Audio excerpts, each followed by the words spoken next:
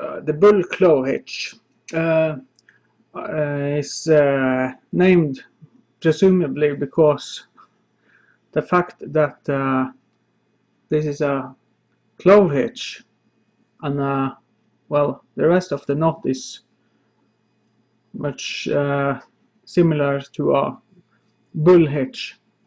Uh, I will show now how to tie this knot. Uh, there is some guides on the net and uh, actually I have to try to uh, upload a video uh, of this uh, how to tie this knot. Uh, however, it turns out that uh, we have, or at least I have misunderstood the whole concept and and the last video I uh, uploaded was showing a very uh, difficult uh, method of tying this knot. Because uh, uh, the fact is this is a bull hitch clove hitch. And uh, and therefore the idea to tie this is to start with the clove hitch and not the opposite way that I have used done before. So uh, now I will show how to tie this knot. First I have to untie this.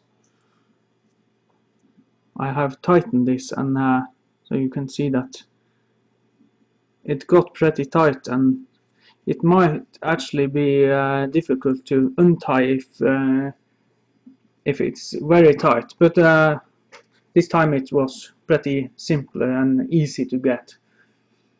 Uh,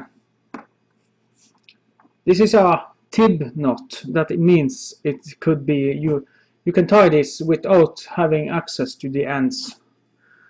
Um, so what I do I start I start to tie a clove hitch. Two loops like this and put the second loop behind the first loop like this and this is basically a clove hitch. Right I'm gonna make the two loops a little smaller just for my own coins to make it easier for myself to tie this. Then the two ends from the clove hitch I might I made a double bight yeah I have to excuse my English because I might uh, use wrong terms but I have to I want to finish this video so. I put the two bights into the loops of the clove hitch like this this is the hitch and this is the two bights like this. Then well the thing is that the clove hitch will be upside down now so I have to dress this. I have to keep this bight with my fingers like that so I don't lose it and uh, it's easy to get confused and uh, to lose control of this. So this is the, the clove hitch now I have tightened it. And and this is the the uh, bights that I uh, put through the clove hitch and, uh, and this is actually the uh, knot the bull clove hitch the finished product if I can call it that.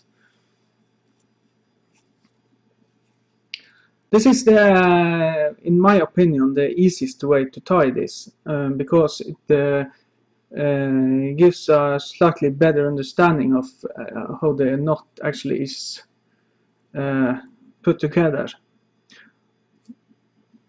there is other ways to tie it but uh, I found that those other ways uh, was uh, uh, there was a 50 uh, 50 percent chance to succeed with the knot using the other methods.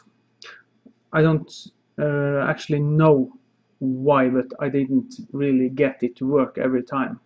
But this method I get to work every time I try to tie so I will suggest you to use that method. Thanks for watching